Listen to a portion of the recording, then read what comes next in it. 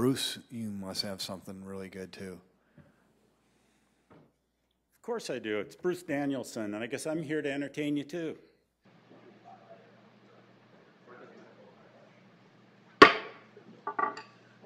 like to call this informational meeting of Tuesday, June 15th, 2021 to order. Our first item up today is council remarks. Any councilor remarks? I could. Councilor Starr. Yes, thank you. And I'm not sure exactly why I did this. Well, I know why I did this, but I went out and maybe this is more bragging than anything, but I am now an official member of the Multicultural Center Board of Directors. So the city funds the uh, program, and I thought it was really an important part. Uh, this past weekend, they had their uh, multicultural festival and had, I wouldn't call it record attendance, but uh, similar to what it was many, many years ago. So I think the weather has a, a huge uh, uh, difference in the turnout, but they uh, had a successful fundraiser, and there will be much more coming from the Multicultural Center with their new executive director, and uh, there'll be a lot of things coming forward. So it'll be they're they're going to be lucky to have me. Congratulations. Other other council remarks? Seeing none, we'll move right into presentations. And before we start, I'd like to remind everybody that we do have a hard stop at 5:30 for public comment. So we'll move right into the USD Discovery District. Bob Mundt has a presentation.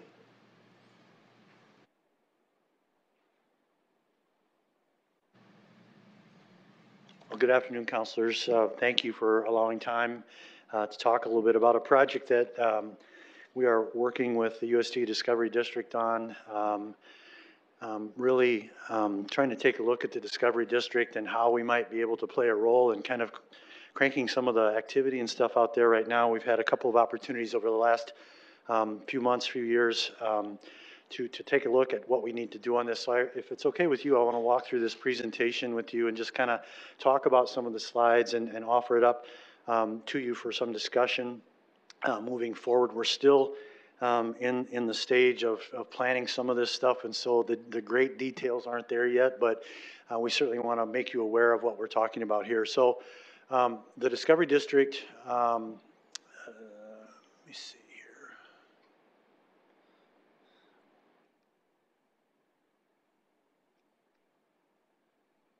the right arrow, right? There we go, okay. So just a, a short history, um, the University Center was established uh, about 2001 technically. Uh, it's currently managed by the University of South Dakota. Most of you know where it, where it is, kind of on the northwest uh, side of, of Sioux Falls. It was a partnership between Forward Sioux Falls, the city of Sioux Falls, uh, the South Dakota Board of Regents, and then GOED. Um, it includes the Community College for Sioux Falls. It includes the USD Discovery District, uh, and then the Graduate Education Applied Research, or the GEAR Center, um, out there as well. And Dan Engebretson is with me here today, uh, representing uh, the college today. Um, we started with shared goals. What are, what are our goals in this thing? It was to foster innovation-focused economic development, to keep South Dakota graduates in the state, to strengthen the region's capacity to support, grow, and attract innovation-based bioscience companies and high-tech businesses, resulting in high-level jobs in the salary ranges of, you know, 68 to 70,000, and utilizing that collaborative resource of regional medical centers, regional education institutions, and private sector partnerships to really build on that. So we have have several very powerful um, health organizations here with Sanford, Navera, uh, SAB Biotherapeutics, and a few others um, that are really starting to show up on the map as far as the bioscience and biopharmaceuticals portion of this. The space out there right now exists of three buildings. Um, you are aware of that. This is kind of what they look like. Um, it includes the Gear Center and affiliated startup companies that are out there, classroom space for USD, SDSU, some of the other universities joint meeting spaces, USD offices, as I mentioned, the Community College for Sioux Falls, the USD Biomedical Engineering Program, which sometimes isn't that well known, but is getting to be a lot better known under Dan's leadership. We've got several graduates. We'll talk about some numbers here in a minute. And then the Tech Readiness Acceleration Program, or the TAC program, uh, which works with accelerated technology and incorporating that into businesses that we have here. So it's headed by, uh, headed by Dr. Engebretson. Uh, we have 47 undergrad students there, 20 master's degree uh, and PhD candidates. It fills up about 22,000 square feet out there. Um, seven new biotech startups have graduated and formed there. Um, and it populates really the Sioux Falls biomedical industry. So again, those graduates are going to places like Sanford, so like Avera, like SAB Biopharmaceuticals. So we're keeping those kids here. Uh, I shouldn't say kids; those graduates uh, here.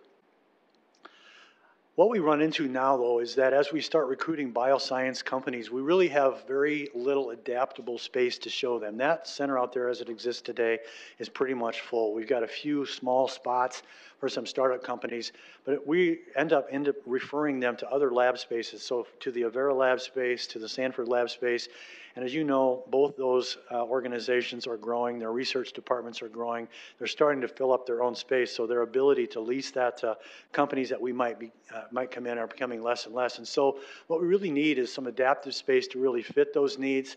Uh, the proper ventilation systems, uh, compliant rooms, clean rooms, all those types of rooms that aren't in your typical building, right? So we have to specially design those for that uh, in order to propel that, that lab space uh, that they need. Um, what we feel today is that it's really time to create that competitive shell space that is flexible enough so that we build it out uh, to those clients. They can actually walk into that building, take a look at what we're going to have, take those letters of interest, turn those into letters of intent, which intent uh, we then turn them into uh, actual leases for that facility and build out the program to fit their needs. Some of the prospects that we're working with, as you know, we can't tell you the names of the prospects, but we can kind of give you the fields that they're looking into. And by reading through some of this, certainly, um, you know, you can see these are the biopharmaceutical companies, these are the bioscience companies. Many of the terms in these things I can't pronounce, so I'll just let you kind of read through there uh, as far as what those are. But they are the high-tech types of bioscience companies that we see um, coming out of places like USD and others. Um, these are the types of, of, of future fund or future uh, programs that we would see coming into those facilities. And, and where is this interest coming from? What we've been tracking and monitoring is, you know, where do we see the flight of these companies? And you can read through there, but for the most part, they're coming from some of those hot spots uh, for biosciences. And the reason they're coming here is because it's getting so expensive there to operate in those particular locations that they're in that they're looking for new, creative, energetic space that they can come to. They're looking for new labor pools. They're looking for, you know, new quality of life, if you will, in some of those places. And so we're getting a lot of um, interest from those particular companies. Many of them are smaller companies, kind of in that research and development stage, but that's really kind of what we're looking at uh, in this particular area. So the partners that we put together, the Sioux Falls uh, Development Foundation, Discovery District, uh, ISG, and Journey have come together to kind of form uh, a group that's kind of looked at what can we do out there to make this a little more um, palatable, to make it uh, take this to the next level. So what we've come up with is a concept of a 50,000 square foot shell research facility, and I'll talk a little bit more about that. But in partnership with those people that I just mentioned, our target really is, uh, we believe we can create up to 250 jobs there in this particular site uh, of those high paying biomedical jobs. And right now, the average salary in that area is about $68,000 a year. Tenants will commit to the building they can see. As I mentioned before, it's hard for a tenant to commit to a building that's just on paper that they can't really see and that we, you know, we talk to them about, well, we think we're going to build this, but we're not sure how we're going to do that, but trust us, we'll have a building there. In this case, we can have a building that's adaptable, that's able uh, to, for them to move into, and it helps to catalyze the rest of the research part too. We've kind of been in a holding pattern for various reasons over the last several years, and we think that kind of this next impetus can make, uh, can push that forward. So this is kind of the site, uh, if you, I'm sure you're familiar with it, this is kind of the roundabout uh, that's out at the Discovery District right now. You can kind of see the three buildings that are already there. Um, it's actually the southeast corner of that particular uh, roundabout that we're looking at putting this building. And so you see the yellow uh, outline of the building that's there along with the parking lots and then potential other buildings on that particular site too, whether they're extensions of the existing or extensions of the new building that we'd be proposing or separate buildings as you see on the far east side of that. That would be kind of the next uh, phase that we'd be looking at uh, in this project. This is an artist rendering again of what the site or the building would look like from the outside. Again, trying to make it kind of that that, that high tech look, that that look that everybody wants to be in. You know that they want to bring their clients to. So it really fits in with the surroundings around that as well. Um, we would build out the front part of this as a common entrance space, if you will, to really be appealing, and so people would come in there and and be able to kind of see this finished out space and what it could look like if they were to, to come in there. And then we would leave the rest of the building basically open. So it would be, just as I said, a shell building that could be redesigned to, again, um, the tenant specifications, whatever it is that they need, whether it's five, ten thousand, twenty thousand, whatever it might be. We can design that space and build it out basically to fit their, their, uh, their needs. But again, we'd have a physical facility that we could actually have on the ground that we could show them um, and make sure that they knew exactly where they were going to be. Another rendering here, just kind of showing both floors uh, open for space. So we'd have roughly about 45,000 square feet of, of usable space. If you take some of the common area and stuff out, about 45,000 square feet of usable space. So that's the concept that we're kind of um, working towards right now, and um, we wanted to kind of get it out in front of all of you to take a look at that. We're still working through uh, some of the financing and stuff with that. We've got some really good ideas, I think, on the table. We want to make sure that you know, as the city kind of looks at how they might be spending some of their stimulus money, that this might be something that's on the table for that. Um, we have a lot of work to do as far as uh, with our developers, potential developers, um, putting those numbers together as we have laid out here. So uh, we're talking with a, a couple of different developers at this point in time to kind of see what that's going to look like.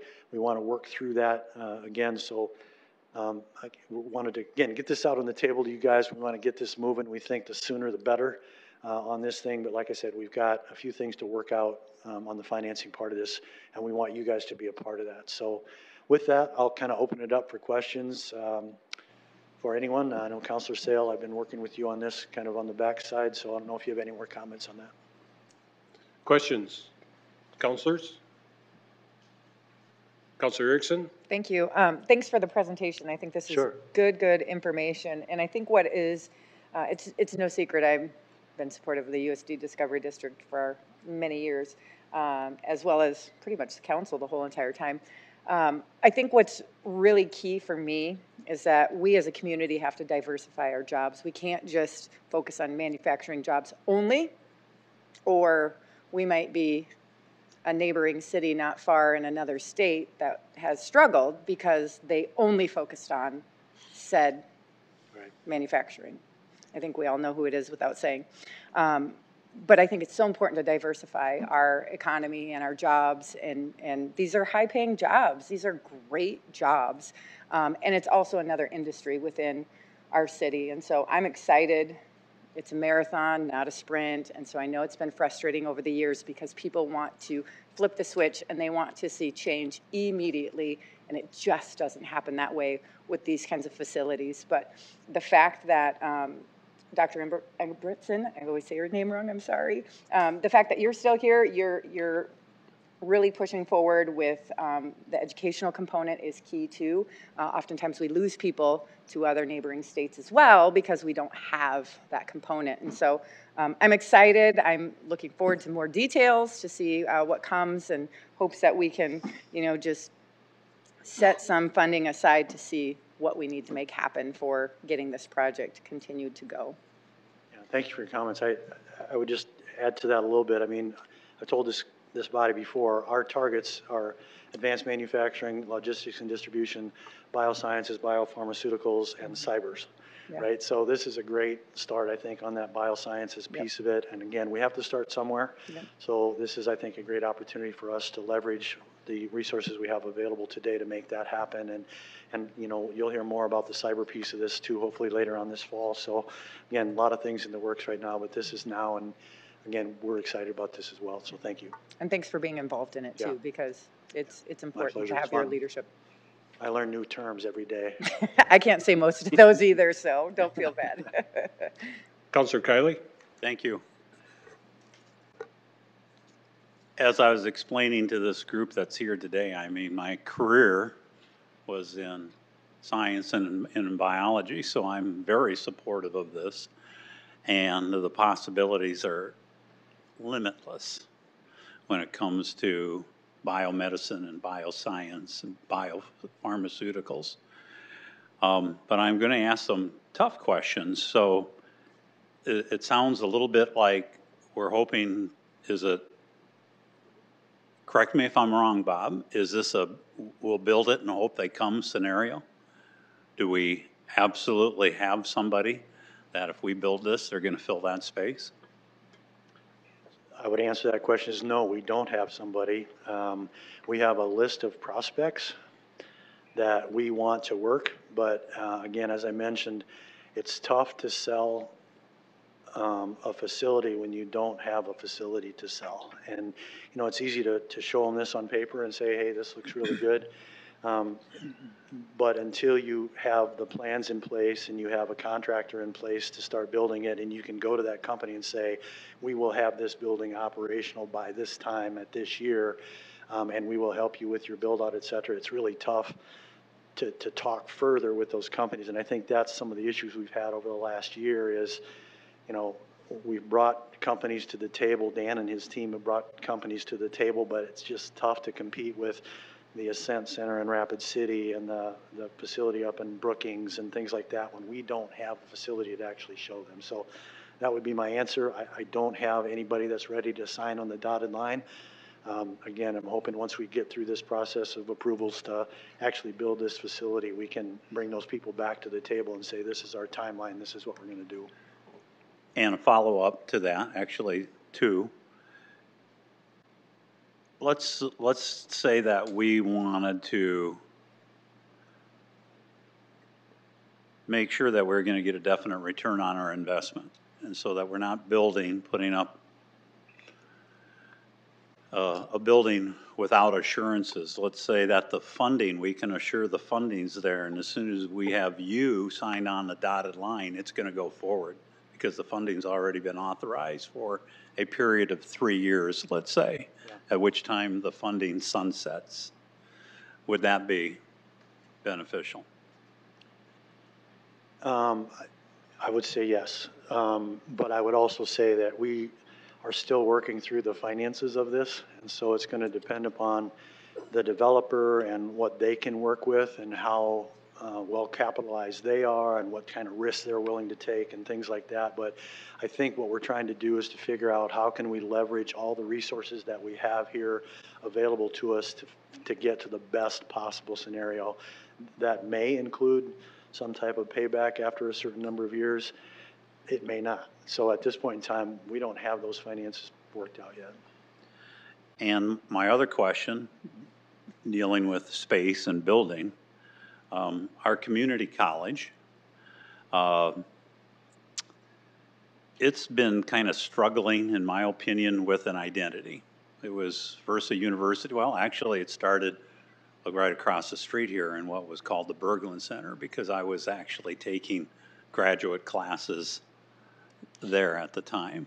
And then they built in the current location and then named it the University Center. And I know that there was a great degree of concern from around the state that Sioux Falls was going to overtake Brookings and Spearfish and Vermillion, and I don't think that concern has gone, gone away yet.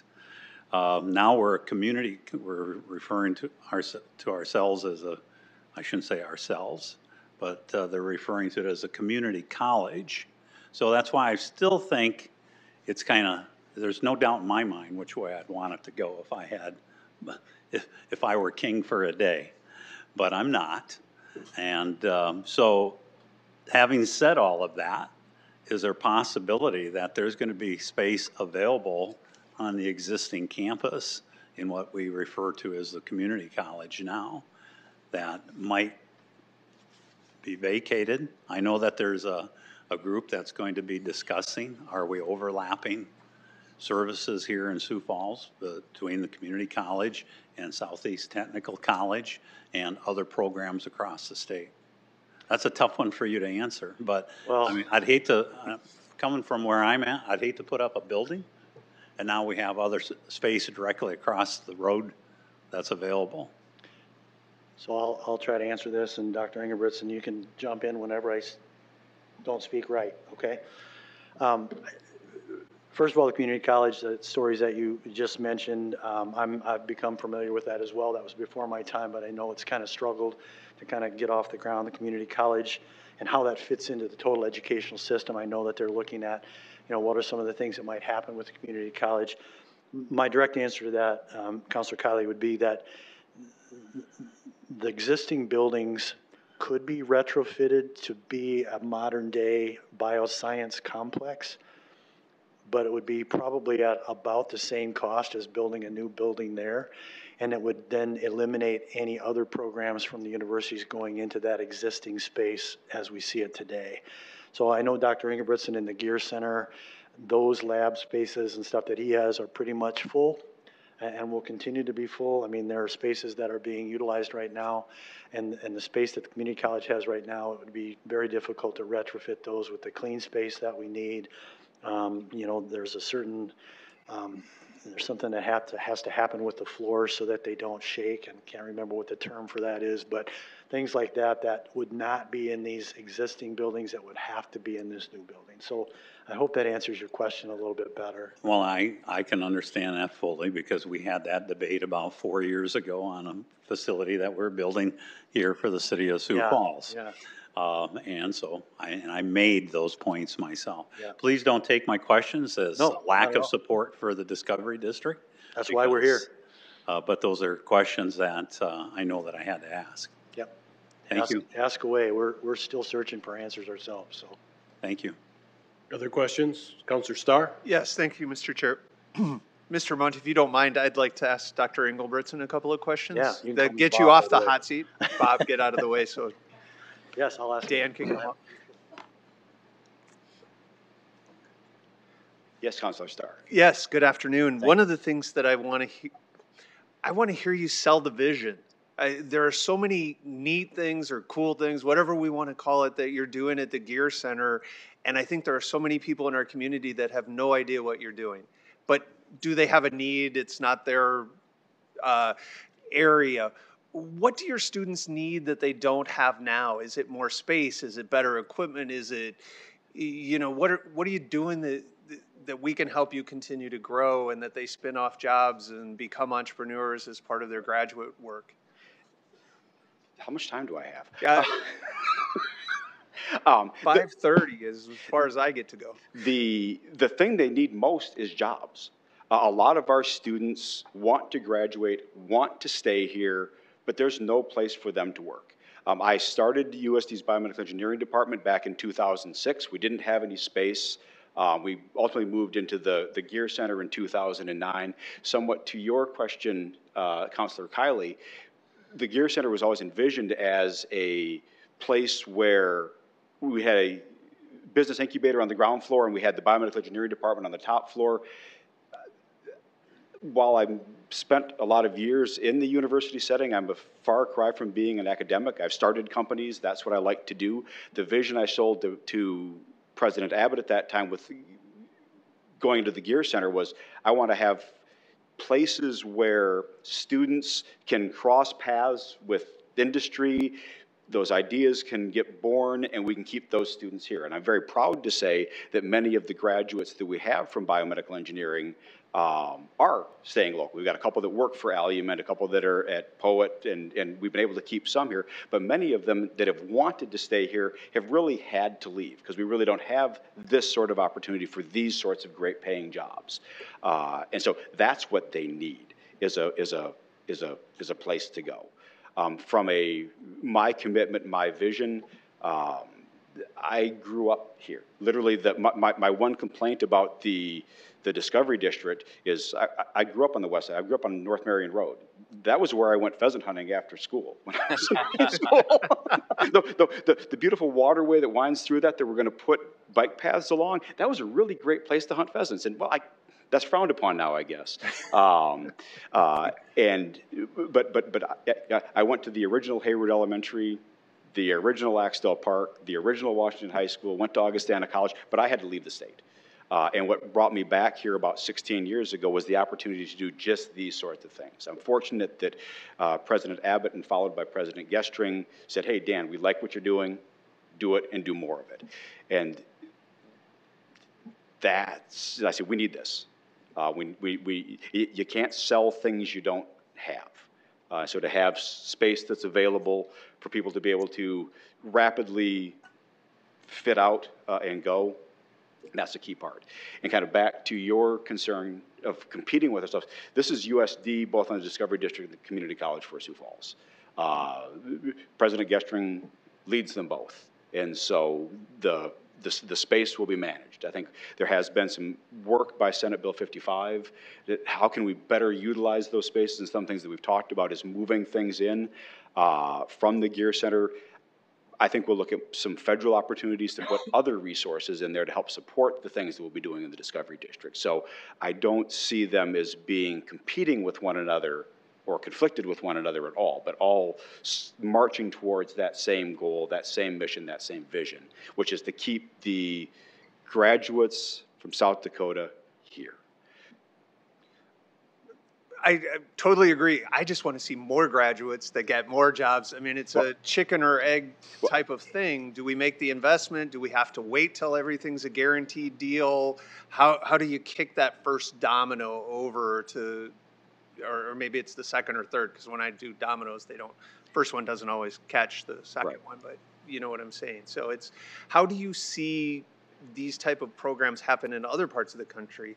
Is it the government that makes that first you know, or the state that makes that first initial investment? I'm sure it's like if you've seen one, you've seen one. Right. type that- of thing. That, that, that's certainly. Uh, uh, well, and just, just looking locally, uh, you go up to Brookings, it's been the, that was primarily led by a partnership with the city of, of Brookings that really drove a lot of that. You know, the state has obviously participated, but it's been, I would say, uh, more guided by, city and some of the, some of the individuals within the city, Al Kurtenbach and those sorts that have been, been key players there.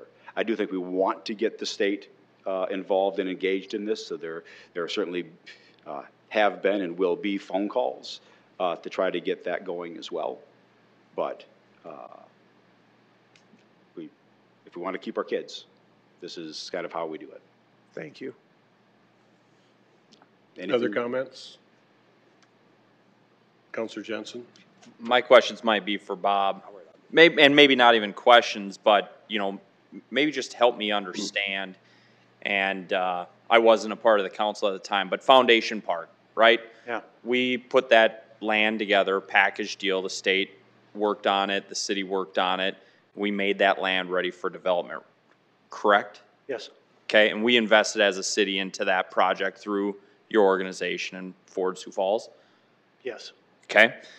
Um, as I look at this project, I look at it a little bit like Foundation Park. And it's a little different because you have, uh, you're going after different targets here, right? We're going after startup companies that don't have access to financing for a long-term building commitment. So they need a, they need a building to lease. Would that be accurate in saying that? Yeah, and I'm not even sure that startup companies would be exactly right. These have started up, it's just that they're in different phases of their um, research and development and things like that. So many of these have capital to finance their development and research and things like that. They're just looking to kind of, you know, hit pay dirt, so to speak, where they can take their product and, and mass produce it or whatever. And there's different levels of where they're at on that. But yeah, your concept is ab- absolutely correct. So from a financing perspective, someone needs to take the risk, and it would be a little bit of the developer in this case, or a developer in this case. It'd be, uh, you know, Bob and his group, it'd be USD and, and, uh, and their group, all taking a risk on this. We started this project years ago when I was in the legislature, uh, right actually before I came, Counselor Erickson and, uh, uh, individuals, and Dennis Daugaard and President Abbott, all got this thing going. The state put in a lot of money out there, so is the city. The state, the three buildings that are out there, funded by the state, right? Correct. They're invested in this property out there, and now it gives us an opportunity to say, okay, let's try Bob's concept, but in a little different fashion. Let's look at it as a spec building, because that's what it's gonna be, and trust in Bob, because I know two things about, uh, uh, Bob is, once he puts his mind to something, he gets it done, and he does it well. That's what Foundation Park has done. Can you believe the projects that we've had the ability to accomplish because of the leadership of this city, the state, and your organization? And we know two things about the future. It, it's gonna look a little different than it does today. And then the second thing is, it's gonna be rooted in, you know, in, in our past. What is our past? It's agriculture, it's uh, healthcare, it's finance, it's logistics. What does bioscience need? It needs all of those things. It needs all of those things, and we can be an innovator if we look to help uh, this, this project. And I'm looking forward to it. I think also, like you said, and uh, others have said, the details really matter in this. And as we work forward and, and get this thing accomplished, it's going to really set us up for some success in the future because I, I don't know if there are 28 lots out there. I think there are probably 28 lots. I think if we get 28 businesses that have the same 250 high-paying jobs, it's going to be a big deal. And we're going to be not only keeping our kids here, but we're going to be attracting other people's kids here like we already have, but we're going to be doing it with these different industries. So as we continue to look at the details, uh, of which we need to, and get different partners uh, involved in this, we need to show our commitment as a city, and I think that this would be a good way of doing that. So thank you, sir, for your presentation. Thank you for your comments, and I, I would say there is a whole team of people around me, just like you know, and, and I happen to be the face of that, so I don't get all the credit for this, right? So, and I don't take all the blame either, so. Um, but to Counselor Erickson's point too, I think, you know, this is a marathon, it's not a sprint. Um, we, this is a type of business that takes a long time to develop and a long time to kind of get on the map. I mean, if you look at how long it took Austin, Texas to get up on that biosciences map from back in the mid seventies, it's taken a long time for that. So again, I would, I would ask not only your support, but also your patience in uh, making this thing work and, and getting all the stuff put together. But thank you for your comments. I appreciate that. Counselor Selberg. Thank you, Mr. Chair. Yes, things like this certainly need vision and leadership, and I appreciate that, what you've shown on that too in the presentation today. Um, and I know that we've all been big supporters of the Discovery District. I know in my time on the council. Um, like Mr. Engebretson said, you can't sell what you don't have. We need this. Um, he also mentioned getting the state more involved, much as they had been in Brookings.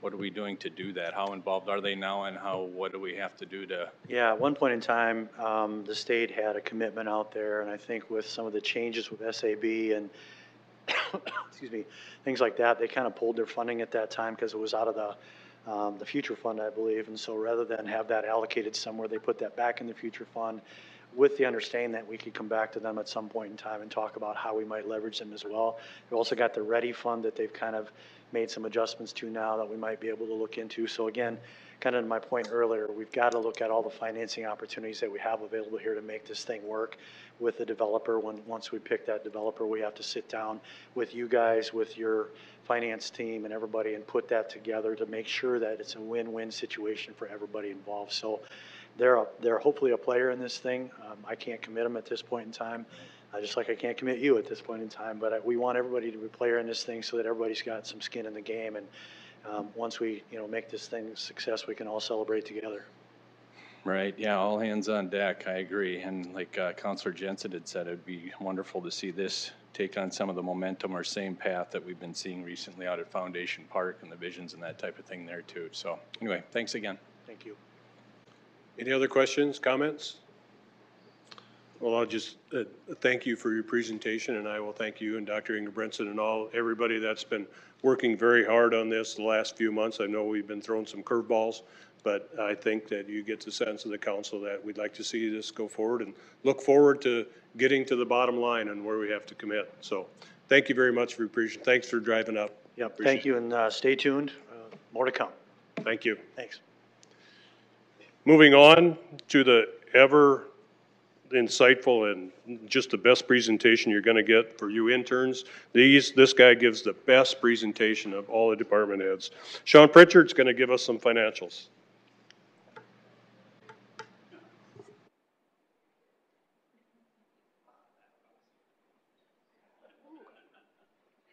Those are some high expectations here, and we have one of our finance interns out there, so I'll hear about it if it doesn't meet the quality standards we've set before us here. Uh, Council Chair, uh, council members, I appreciate being uh, back here at the council here for the May monthly financial report. Uh, got 10 minutes here uh, before questions, so I'm going to try to get the remote to work.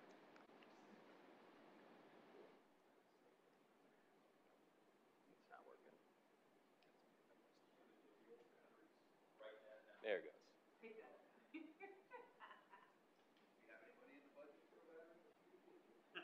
There we go. All right, perfect. Uh, so labor force and employment uh, is up. It is up 8% uh, since November of last year. So we are seeing some steady improvements there, but obviously we are having uh, significant labor challenges uh, throughout this and the throughout the entire community, and particularly in certain areas. But uh, we've certainly seen that as a city in terms of our part-time staffing that's continuing to challenge us uh, going into the summer months of this year. You can see it in our unemployment rates. We're hovering at 2.6% presently uh, compared to 3% for the whole state and about 5.7% for the state, uh, uh, for the entire nation. Uh, if you look at our insured unemployment rate for last month, we were again the lowest in the entire country. Uh, and we're achieving levels now that are actually below where we were before we entered into the pandemic. So uh, the labor challenges are certainly evident, uh, and that has to come with hopefully improving uh, and, and growing our labor force here over time. Inflation is another thing that we continue to monitor, and you can see that that has steadily increased throughout 2021. It's now standing at 5% as of May. It was up from 4.2% last month and up from 2.6% the month before. So a lot of that is being driven by the energy sector, which you can see has had significant increases here over the last uh, couple of months, although it was uh, significantly negative throughout 2020. So it's not surprising to see that uh, up as well. Uh, the food sector, which was higher last year, has at least continued to moderate.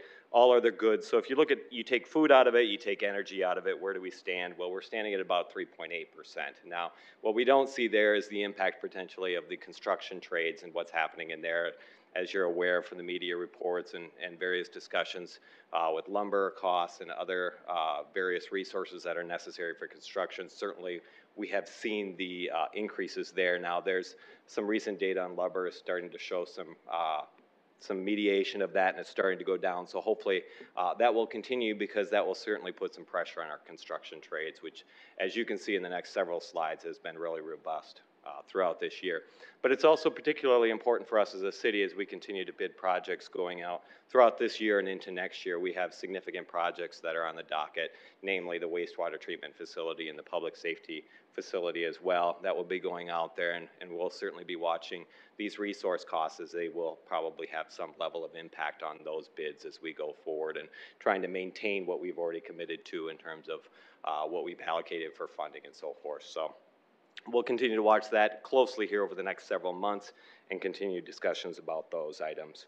Uh, throughout May, uh, of course, as you've seen in, in, various media reports, we continue to have record-breaking uh, building values for this time of year as we continue to watch that continue throughout the year. We're, we're at $396 million of building permits uh, through May. Uh, that's tracking about $163 million ahead of last year at this time. That's about a 70% increase over last year, about 44% increase over the year before. So again, very strong growth there. That's being led by new residential values, which are experiencing the largest increase. So we're talking single family homes, townhomes, and things of that nature are up about $60 million. So that's even uh, ahead of our new commercial uh, the other interesting piece is this, the second piece there, commercial additions and remodels are up 55 million. So uh, it's not just new that's occurring out there, but there's a lot of activity in terms of refurbishing existing buildings that we have in the community as well and reinvestment going on there. And then lastly, uh, third behind that is of course new commercial values, which were up 42 million. Uh, but in that is a $70 million increase in multifamily. So you're, you're seeing record-breaking units for multifamily going on right now, and that's uh, kind of covering up some softness that you're probably seeing in some of the office and institutional sectors. But you just have variety from year to year, just depending on what happens to get built. Uh, certainly, the number of new units being issued is a really important indicator that we're watching closely. With the job announcements that have been coming, the number of units that are coming online uh, are going to be very critical for our community to be able to support those number of jobs. So uh, at, through May, we had 412 single-family units permitted.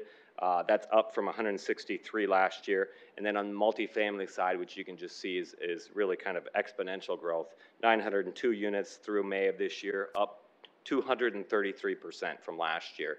Uh, and that's, uh, we only had 271 units last year. Now, we back-ended a lot of units toward the, the second half of the year, and so it'll be interesting to see if this uh, level of continue, in, uh, uh, continues throughout the rest of the year, or if we're kind of seeing a, a, robust first half, and we'll kind of see how the second half of the, the year goes. So uh, perhaps Director Eckhoff has more ideas on where that's that's trending at this point.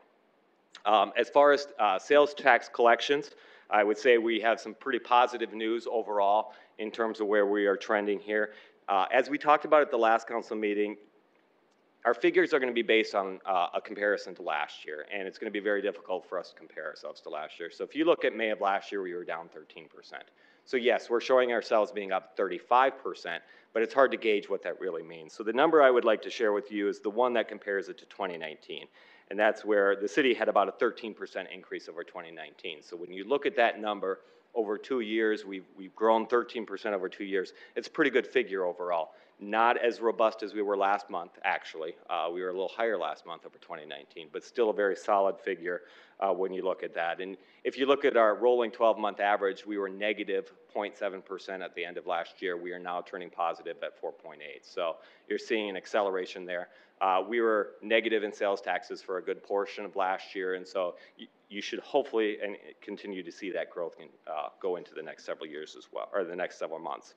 Um, entertainment tax collections, uh, again, as we talked about last month and, and tried to preempt this a little bit, we were down 50% in entertainment taxes last month, or in May of 2020. We would have to go up 100% just to break even because that's the way it kind of essentially the math works. Well, we went up 125%.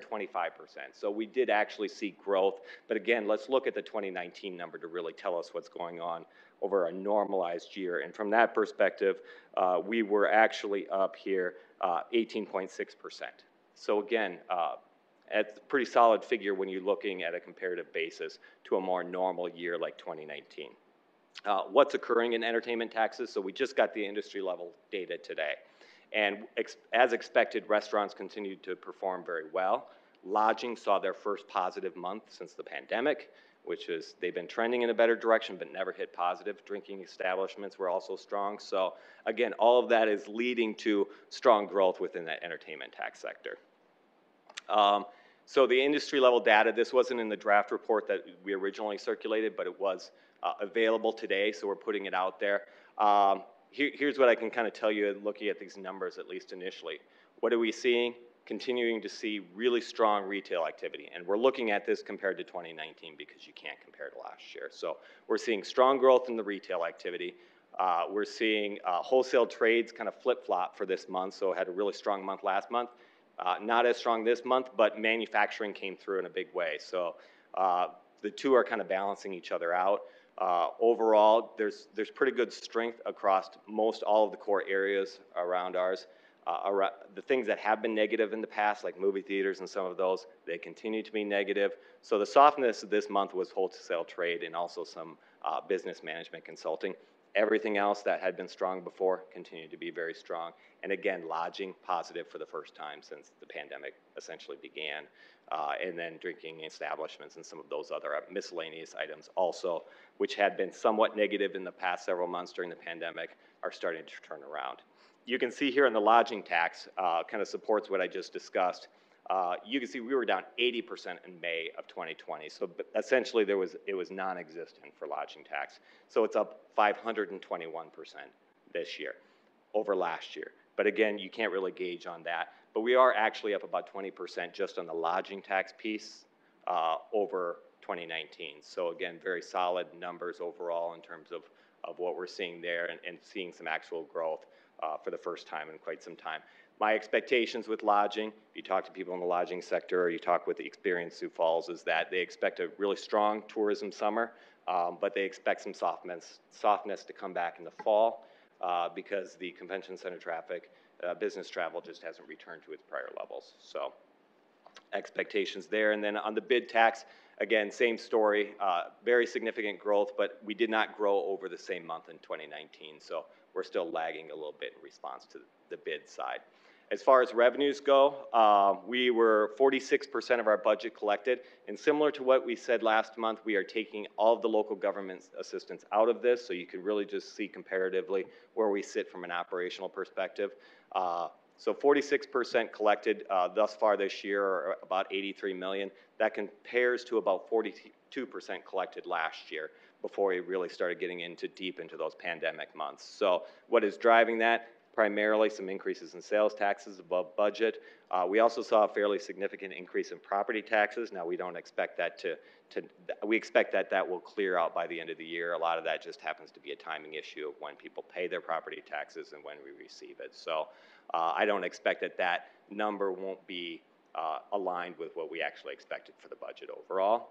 And then as far as expenditures, we're very much in line with where we were last year. We have about 33% of our budget expended.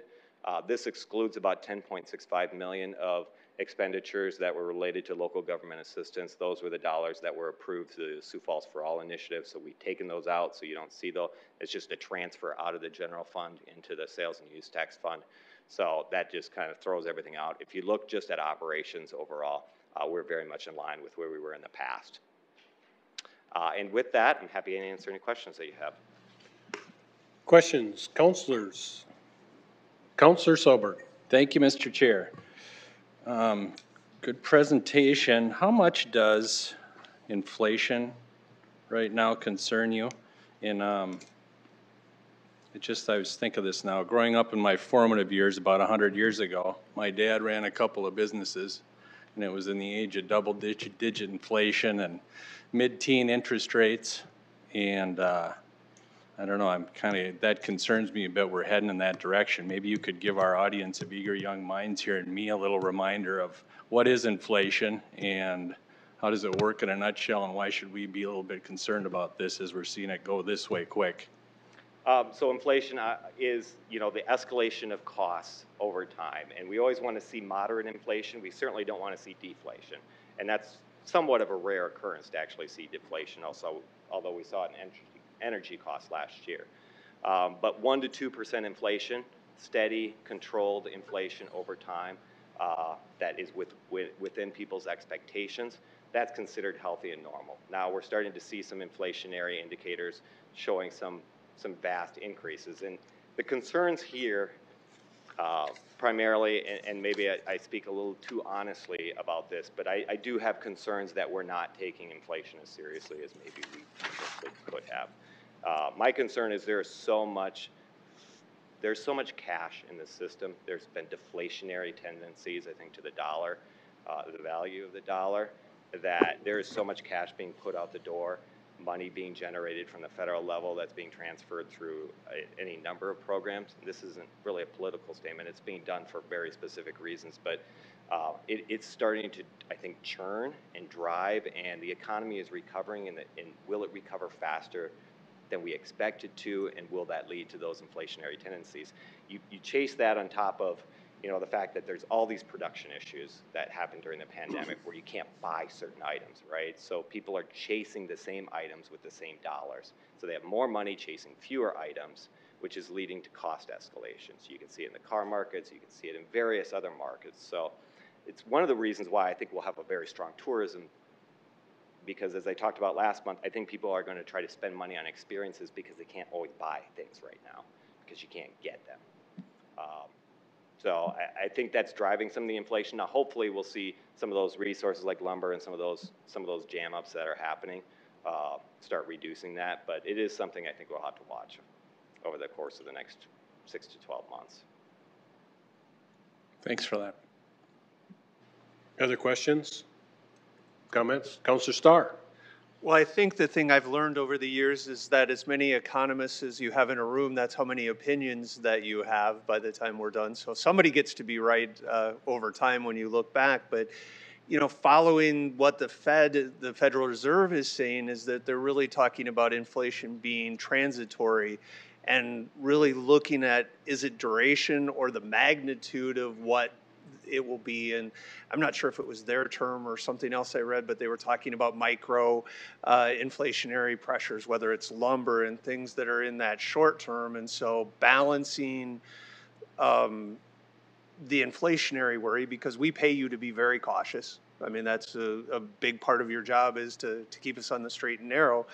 But then our job sometimes as policymakers falls into that what do we do to continue to stimulate so that you don't fall off of that that cliff when the incentives and all that extra cash stops churning. So not being a, an economist, I know that you're not, but I actually have an economics degree, so. Never mind, then I just, all right, then I'll stop now and be. No, Um, no, no, no, but I, what, what I'm looking at eh, from a city perspective and in our finances and the amount of cash that we do have, because as a city, we are very flush with cash. We've been given a, a lot of cash to, to invest and to continue to stimulate. But when do we get to that point that we don't need to stimulate, or maybe that we need to hold back a couple of these big projects that we have, whether it's the uh, water reclamation, whether it's the um, moving forward with some of the, or delaying because the costs are too high, or there's that micro inflation uh, that causes in, in certain categories that maybe it makes sense to wait a year to move forward with the uh, law enforcement training program or some of the street programs. Are we seeing, maybe this is the best way to ask it, are we seeing it in the bidding that we're doing now versus the bidding that we're forecasting? Because the numbers that we get show that a lot of the bidding, or at least the public works bidding that we're seeing is kind of coming in pretty close. There's some abnormalities where people aren't touching things, the, the filters for the swimming pool where we didn't get any bids or, you know, some of those things. But are we bumping up our cost estimates or are we coming in where we think we should be in some of those? And when, there's a lot wrapped into that and Yeah, I, I think you make a lot of good points there, and I'll start with the first one, is, is it transactionary inflation? I hope it is. I mean, I hope the Fed's right about that. I hope that it's not systemic at this point. Uh, but I think we just have to be cautious with that. I think your point made, uh, it, it, as far as stimulative effect, I think we, we make decisions based on what is the best priority to move forward at the right time for the community, based on the needs of the community. I think we can overstate maybe our stimulative effect that we can have uh, overall, especially when you see the robust activity that we have in the community already. So as far as, I think we make decisions because it's the right thing for the community at the right time as opposed to worrying too much about, or, or holding back. I don't even suggest we hold back from that perspective. Um, on the, uh, on the, the bidding side, I guess from what I've seen, and I think you, you spoke to it pretty well, uh, as well, you kind of covered it, is, you know, some of the projects we're seeing coming in pretty good, right? Like a lot of our, uh, I think some of our construction projects, so far, they've been okay. Um, we haven't really built, bid a large-scale, uh, mass construction project to the extent where you're using lumber and some of those trades that have really seen some cost escalations occurring over the last year. Um, But as, from the bids I've seen for some of the water projects and so forth, they've been mostly coming in about where our expectations were, some up, some down, but overall, okay. Filters, that was an issue. But I think that is indicative, we're seeing fewer bidders come in on various projects, and that's the struggle, is you're, you may get one bidder or no bids. You know, we're seeing no bids coming in, and that's, that's a challenge uh, overall. But I think the, the key thing is the type of construction we're gonna be doing, and when you're talking about an equipment-heavy project, because equipment has been hard to, to get, and projects that entail large uh, capital uh, building type of structural uh, investments, that's where I think they're starting to get a little concerned about what the bidding environment's going to look like. But again, we could be five months out and we could be looking at a whole different environment than what we are today. We just have to be cautious of that. The last thing I would say is, I think you do make an excellent point, though, in that we should, you know, uh, you all know Tom Hewer, and he's, he's essentially said, you know, sometimes there can be uh, great savings in patients. And maybe, you know, there's a time for patience because we'll, we'll get a better value for our dollar 12 months from now than we will now. But again, we have to consider all those as we go through the process. you did a much better job wrapping that up than I did, so I appreciate that in a, a much shorter time. The other is, is as we look to invest in the future, what our um, ARPA monies are and what we have for surplus, capital surplus still waiting for us to kind of make some of those decisions. I appreciate the, the administration's been well keeping us in the loop, sometimes more than, than we want in extra meetings and uh, appreciate that part of it. So I wanted to at least say thank you publicly for keeping us involved and giving us a running total and giving us the background of where we're at and giving us an overall picture. So thank you. You bet, And I- thank I you. apologize about uh, neglecting your education and I'll make sure that I You know, I don't miss never that really again. said it, so nobody knew. Thank you. Other questions? Seeing none, I just have a couple. Uh, Director Pritchett, I- the American Rescue Act money, is that included in this budget? Did, It is not, it's not budgeted. It would be budgeted for at the time it's appropriated, so it would be added to the budget then. And since we haven't received any of it, we wouldn't record any of it yet either, so. Uh, Another Uh, question. But if we did actually physically receive it, even if unbudgeted, it would show up in revenue, Okay. actual revenue. The, there were some questions about inflation. Is housing currently considered in the inflation numbers? Um, I- I'm not a technical expert on how they calculate the inflation number. I would assume that they should because typically housing is thirty to thirty-five percent of your income for many people is spent on housing. So you would think that housing would be incorporated at least some semblance of a, whether it's rents or some sort of implied indicator for what housing is. I would have to assume they would include that in there, but Okay, because I think that, that several of us can attest that housing is, certainly the price of housing has uh, gone up a lot. Last question also relates to housing a little bit. You talked about nine hundred and two residential, uh, apartment, multifamily, uh, do- so each unit, could you, I'm not sure if this is your area, each unit equates to how many people? Is there a calculation that is generally acceptable to that? And can we, No. maybe Do we you could? know what the average is per unit in a multifamily? You use two point four as an average for apartment dwellings? Or for sing- every single family unit? Two point four for all units, whether single-family, multifamily, or Okay. townhomes. Thank you, that's all my questions. If there's nothing else, I'm going to say thank you for a great Awesome. spellbinding presentation, as you always do. Thank you. We're going to move on now to an update on the workforce housing needs in South Dakota, the interim study committee by Jim David, the city council chief of legislation and policy. Can And council chair, probably the best presentation of the evening. Just kidding.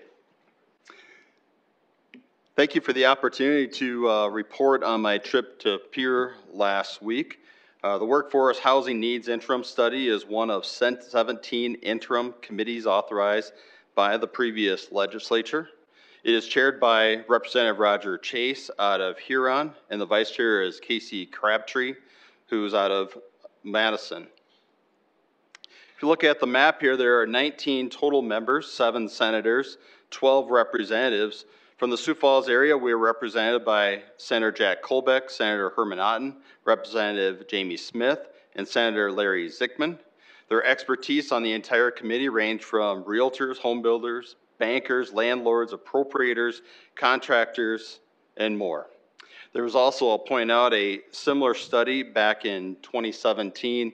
All the legislation that did come out of that committee failed, but they are hopeful that they will have better luck this go-around. Uh, I- At the request of council members Christine Erickson and Vice Chair Alex Jensen, I did attend this meeting last week in Pierre and heard from several experts and interests, including the First Planning District. This is similar to the Southeastern Council of Governments here in Sioux Falls, State Home Builders Association, State Realtors Association, South Dakota, South Dakota Housing, the State Multi-Housing Association, and others. So a consistent theme of this meeting was the imbalance of supply and demand, not just in the growth hubs of Sioux Falls, Brookings, Rapid City, and Watertown, but throughout the state, large and small, east to west. Telecommuting has become a game changer, especially for small town South Dakota. So the, the struggles that we are feeling here locally is also hit, felt in smaller communities in other parts of the state. Supply continues to be impeded by short, or labor shortage, building material costs and delays, and land availability. And the demand is intensified by low interest rates, in-migration from other states, and a growing economy. Which is really hard, hardly news to anyone, which is reflected by these headlines dating back to the spring regarding the labor shortage, the interest rates, and the migration to South Dakota. So in this committee meeting, there was a discussion on what are some of the challenges. What can we solve locally within the state of South Dakota? The inadequate housing stock, not being able to keep up with demand, infrastructure costs of local governments, and to home builder, this inflates the cost of lots. Limited land availability, local cities can't buy sewer and water expansion projects, unnecessary red tape, from both the state and local government. However, Senator Kolbeck did specify that he is not interested in dealing with any lift, late, excuse me, life safety um, requirements in the limited workforce. What I found also interesting, and these stats go back to the spring, is that we have a, a, a, vacancy rate which is fairly minimal. In, in the Black Hills, 1.45%, and in Sioux Falls, 6.65%. This is from spring. I believe there were actually March or April numbers. These are expected to be far less now that it's summer. In 2021, as we just heard, the city multifamily uh, permits have tripled from this year or from last year at this time, which is, again, that demand that is continuing to put pressure on multi-housing. Potential solutions, again, this was a free-flowing conversation, not just amongst those that presented in front of the committee, but also uh, members of the committee. One of the ideas was creating an infrastructure revolving loan fund, reduce the lot cost, have a local match, a 0% interest that balloons afterwards. A comment from uh, Toby Morris, who I know many of you know, was you mitigate the risk, but you don't remove it, and try to create incentive for them to pay it off early. Other ideas was expanding TIF for housing, a sales and excise tax rebate, which would need local participation, neighborhood revitalization, excuse me, neighborhood rehabilitation incentives, possibly using the discretionary formula, expand the governor's house program. Currently, there's a maximum of 400 housing units that they can uh, get out of that prison down in Springfield. The thought is maybe we need to expand it to other state prisons. Another point that was brought up during this meeting was the fact that material costs on the governor's house has increased by 20%. Other discussion was the property tax deed, delinquent property taxes. There's a lot of homes that sit on the, uh, on the tax rolls. They haven't, the property taxes haven't been paid. Expedite that process to get them on the market before they become dilapidated anymore. And then also from the Multi-Housing Association was bringing up the, uh, an idea that has been brought forward on a couple previous legislative sessions, and that's creating a new classification for multi-housing. Currently, it's classified as non-ag or commercial, which is basically what is twice that of the ag levy. So next steps. There was a, a common theme through all the, uh, the presentations and amongst the uh, committee's discussion was the need for infrastructure. And so uh, there's going to be an infrastructure subcommittee. Senator Crabtree will chair that. And from Sioux Falls, we do have our uh, district that does uh, that is within the city of Sioux Falls. Senator Herman Otten will be on that committee. Uh, the next committee meeting of the, that full group is going to be on July 14th in Rapid City. Uh, there is hope that there is going to be an East River committee meeting, uh, hopefully here in Sioux Falls, but Brookings was also thrown out as, a, as an option. Uh, Director uh, Jeff Eckhoff was also present during that committee meeting. And uh, there's interest from Sioux Falls there, but unfortunately, there was none on, on the agenda. Happy to answer your questions. Thank you for your report. Councilor Erickson? Thank you. Um, Jim, thank you. I know originally when Alex and I asked you to go, I know you're busy and we're all busy, and uh, we really appreciate you going um, and really just getting all this information.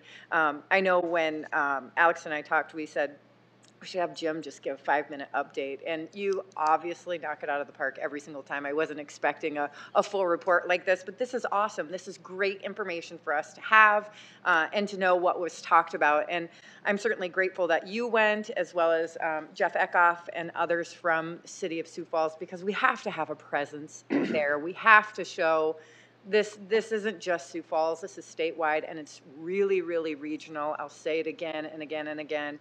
How many people pick their heads up off of their pillows from Brandon Tea, Hartford, Harrisburg, and come and work in Sioux Falls, or come to eat, or come to a concert, or whatever it is? They spend their money here, and so housing looks different, um, that it's not maybe everyone will live in Sioux Falls, but they're gonna live in other surrounding communities. Would I love all the property taxes? Absolutely. However, um, it's okay if they live in some of these other smaller communities and still are a part of our region. And so, um, thanks for this. I'm, I, I'm not sure who will be able to make it to the 14th meeting. Um, I have family out there, so I might just head out there anyways um, to be a participant in the Rapid City area. But I think it's really, really important that we continue to have a presence there as Sioux Falls. So thanks for this. Great information as always.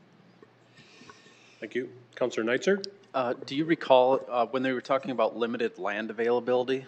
That, that could mean a lot of things, so I'm con- interested what they might have brought up. For example, the inability to finance the sewering it as a city, uh, inability to purchase it at a cost that's reasonable. Uh, I- What, what, what was the gist of that? Yeah, land availability, it, uh, a lot of communities, and we, we don't really think of it here in Sioux Falls, but a lot of communities throughout the state are at debt capacity or approaching debt capacity. So it's very difficult for them to provide sewer and water to the, to expand their community. There's demand. If you look in like Chamberlain right now, there's hardly any, any homes available. They are, I'm not saying that they have, they're approaching debt capacity, but many other communities like them are approaching it. And so the consistent theme throughout that meeting was infrastructure, infrastructure, infrastructure. Now, whether this revolving loan, loan fund would apply to local cities or developers, I'm not sure. I mean, it was, uh, one thing I will say about this group, I looked at the agenda, I'm like, I'm not getting out of here by five. They said three o'clock, I'm not getting out of here by five. I think they're done by three thirty. I mean, they kept on agenda, but what was amazing about this group is that it was a free-flowing conversation. It wasn't one person throwing out idea and then it getting shot down. It was like, everybody, let's just come with solutions. And that was also unique. It wasn't complaints, and I think uh, Councilor Jensen brought this up earlier during our meeting with the interns. Don't just bring your complaints forward. What is the solution? And every single individual on this agenda brought forward a solution. Now, whether they go with that or not is, uh, is gonna be difficult to say, but uh, it was, uh, it was, it was a great meeting, uh, and I think there's a lot of potential. I'm excited, uh, to be there, and, uh, I, I slipped out for some lunch, came back, and, uh, it- they were just trucking right along, so. Wa- Was there any discu- discussion about the significant amount of various stimulus money the state has received and what they could maybe deploy that for, such as helping to maybe build infrastructure Yeah. and do some of those things? The revolving loan fund. I mean, utilizing that, um, there was discussions on, uh, possible grants. You know, whether a grant would be the correct way to go, but then there's like, we want locals to have skin in the game. We want developers to have skin in the game. Um, and so using those stimulus funds for a project like that, um, I, I'm sure there was, uh, there was others I'm not thinking of right offhand, but using those federal dollars for, uh, housing, whether, and there was an, uh, an example in Mitchell, I guess the, I don't know if it was the city, uh, or some group had purchased a large, uh, tract of land and then actually then tried to develop it. Uh, they talked about some of the pitfalls that they experienced, but now that is starting to take off. Uh, there's a community outside of Brookings, I, I think it was Estelline, that, that talked about a similar program. So, um, really, there, there was a, a wide range of options and, but definitely the federal funds are a key component to that. And that is, I, I think, the optimism that the committee felt that whatever they put forward to the legislature, there is a good chance that it could actually pass because now there's actually money. Before there wasn't money. Yep. Okay, thanks. Other questions, comments? Councilor Selberg? Thank you, Mr. Chair. Great job, Jim. Um, Yeah, I think much like we just discussed with the Discovery District, we need all hands on deck here, and I think that's what a lot of this conversation has been over the last few months. I know I'm on the Accessible Housing Advisory Board, I've been on something like that for a while. Um, A lot of sharp people there. I know I appreciate that uh, Councilor Erickson and Councilor Jensen have started a lot of conversations around town and the communities and getting that kind of feedback. Now we've got it going on at the state level. And uh, like you say, you need people with open box, thinking outside the box, open minds, new ideas. What can we do that hasn't been thought of before? But it sure sounds like from every which direction, we're getting the sharpest people around, so that's good to hear. So, anyway, good job, I'm glad you went. Other questions or comments? Hearing none, Thank you very much. Thank you. We'll move on to the part of our agenda that is public comment. If anybody here would like up to five minutes to comment on anything that we discussed today, now is the time to come up. Mr. Chair, is there extra intern credit for anyone who takes the three minutes to uh, inform us of what's going on? I think they It- should introduce themselves. I think that'd be great. The ones that stayed around after five Yeah, o'clock you get should- extra credit. You should get a raise. Give it raise. to Jen- Jensen. I, I, I can't, You have I no would love to authority? give them extra credit, but, uh, I would grant you the authority to do it. yeah, we could keep them here for the overtime. Yeah. Seeing no public comment at this time, I'll move to adjourn the meeting. Thank you.